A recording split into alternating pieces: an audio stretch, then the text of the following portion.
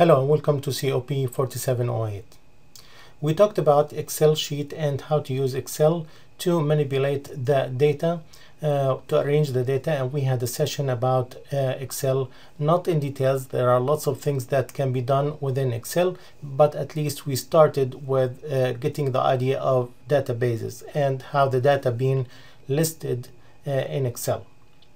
Um, in this session we are going to address the Access, which is the next step of Excel. Uh, this is more of a database management system, maybe the simplest database management system uh, that can be used.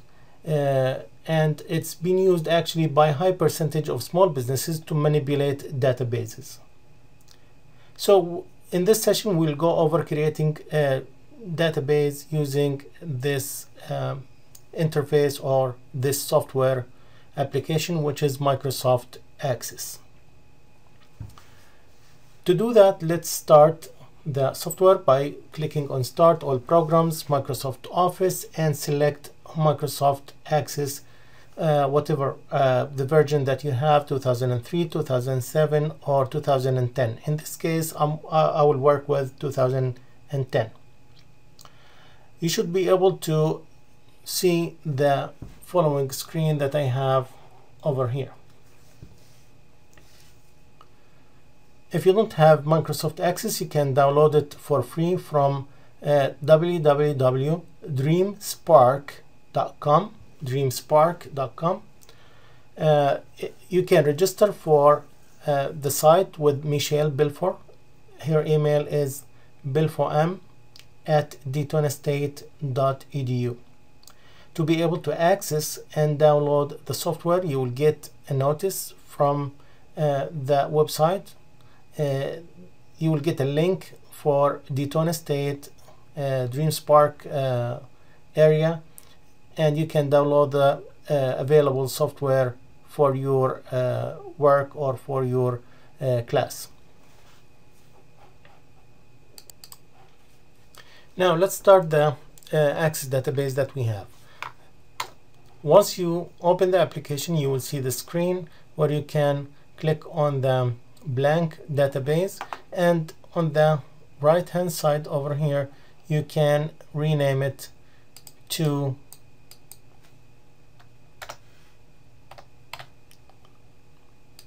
employee database slash 3 or dash 3 and then click on create.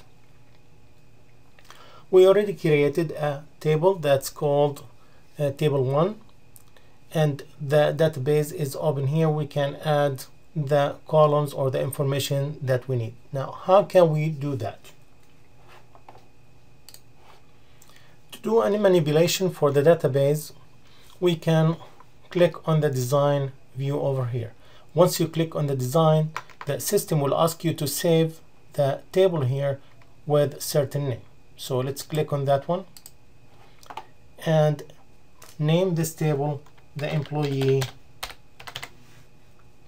table and say OK. As you can see in the design view, you have the ability to add the columns as you go in these fields. So we are going to start naming these fields, which is, and those are the fields that uh, are considered attributes for the employee entity. So in this case, we are dealing with an entity called employee. We created the table, table that represents that uh, entity, and now we are adding the fields or columns for that entity, which are called also attributes. The first one, ID, which is an uh, auto number, we are going to change it to employee ID.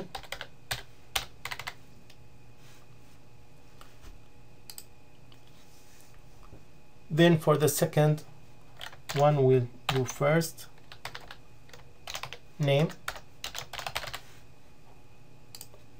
last name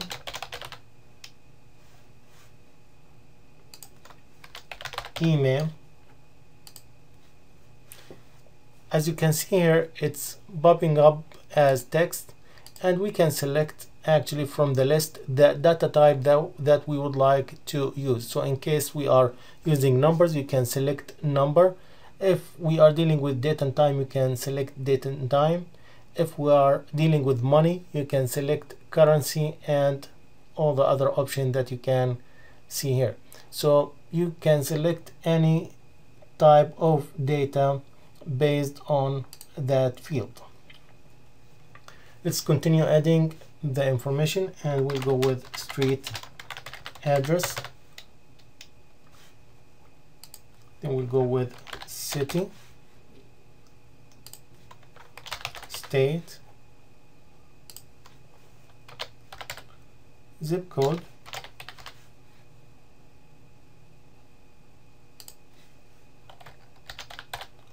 phone number and then I will add something called department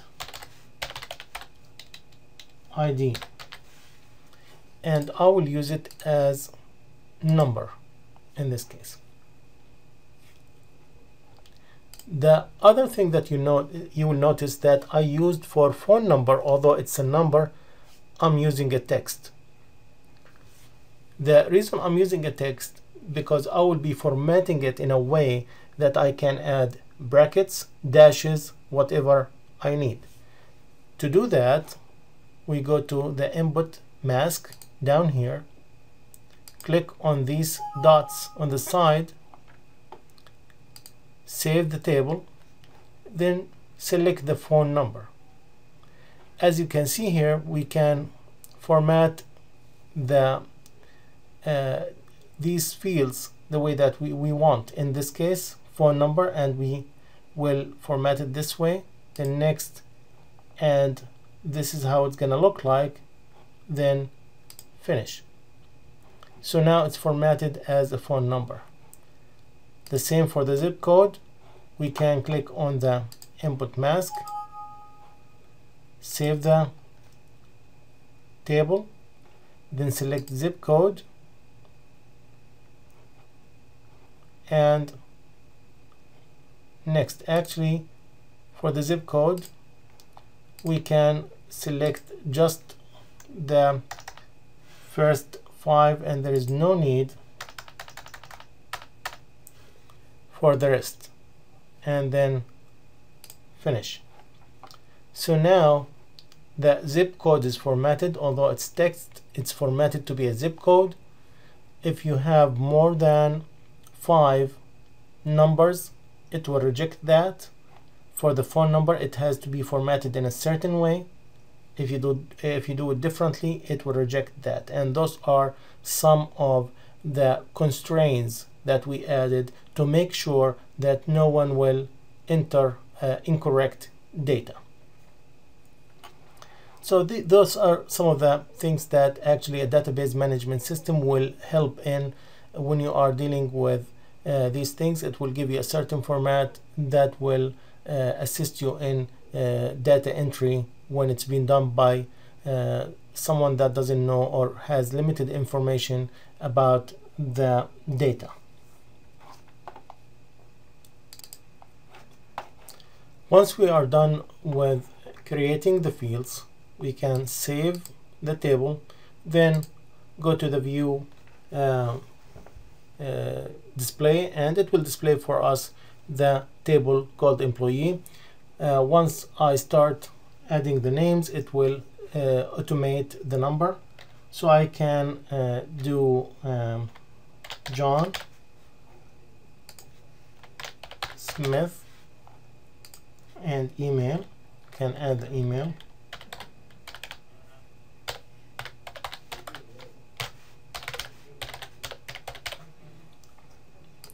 The address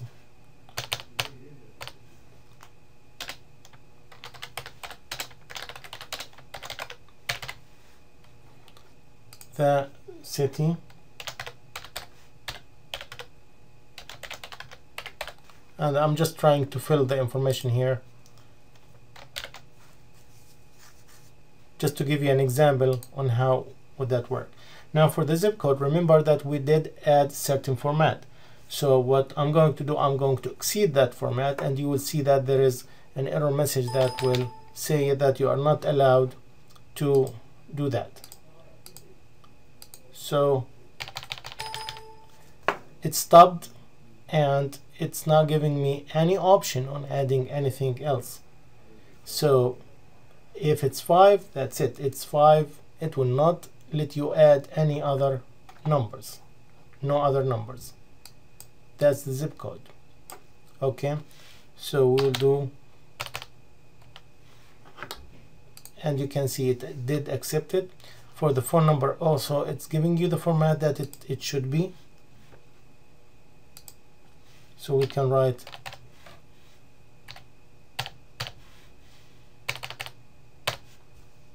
the format of the phone. And for the department ID we'll put department ID number 1 and this is just like I said this is just an example on entering the data. Uh, from this actually I would like to address the functional dependencies. So what we did actually we identified the employee as an entity in this system. This is the entity that I will be tracking. The attributes are the first name, last name, email, street, uh, street address, city, state, zip code, phone number, and the department that they work in. From this, I can develop or identify functional dependencies. When we say functional dependencies, mean we are looking at the determinant or the identifier that will identify that uh, table or that will open for me the information for that table. Means one field that will determine other fields. One identifier that, that will identify other attributes. In this case we can see from the table that the employee ID, just by typing the employee ID, that will give me first name, last name, email, street address, city, state, zip code, and phone number. The same as when I use your student ID. So actually, your student ID provide us with some information about you, such as your name, your email, and your address.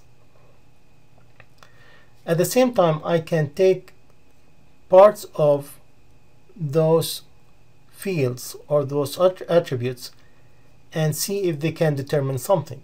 For example, if I have your email, I might have your first name, last name, maybe other information. But what's obvious here that your email can determine your first name and last name. This is how you register actually for the email. At least we need your name. And if you have a phone number, then I will have your first name, last name, and your address. Because when you register for a phone, actually you are, you are giving them all these information. And for the zip code, if you give me a zip code like 32117, I will not be able to determine the name of that person that that's living there because um, I don't have only one person living in 32117 zip code. I have thousands maybe more living in that zip code. So actually all what the, what the zip code can determine for me is the city and the state. And that's how we create our functional dependencies. So remember that functional dependencies, all what it means is that fields can determine other fields.